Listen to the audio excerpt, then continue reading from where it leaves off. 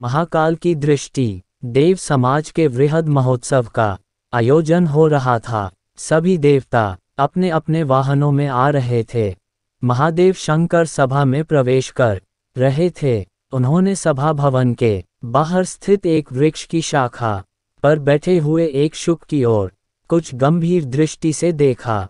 शंकर तो सभा भवन में चले गए, किंतु उस शुक के मन में चिंता उत्पन्न हो गई। समीप बैठे गरुड़ से उसने अपनी आशंका का निवेदन किया। उसके बचने का उपाय सोचकर गरुड़ ने कहा, शुक्राज, मैं तुम्हें द्रुतागति से अनेक समुद्रों को पार करा कर किसी सुरक्षित स्थान पर छोड़ आता हूँ। चिंता मत करो, उद्धरण चिन्ह गरुड़ ने पूरी शक्ति से उड़कर बहुत कम समय में अनेक समुद्र पार करके उसे दूर कहीं सुरक्षित स्थान पर बैठा दिया। शुक्र आश्वस्त हो गया कि वह प्रलय कर शंकर की कठोर दृष्टि से बच गया।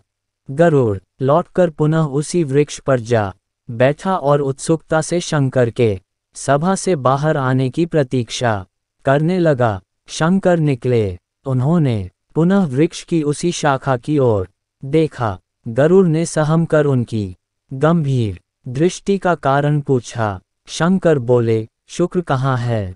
गरुड़ ने कहा, भगवान, शुक, आपकी तीक्ष्ण दृष्टि से भयभीत हो गया था और मैंने उसे दूर एक सुक्षित स्थान पर बैठा दिया है।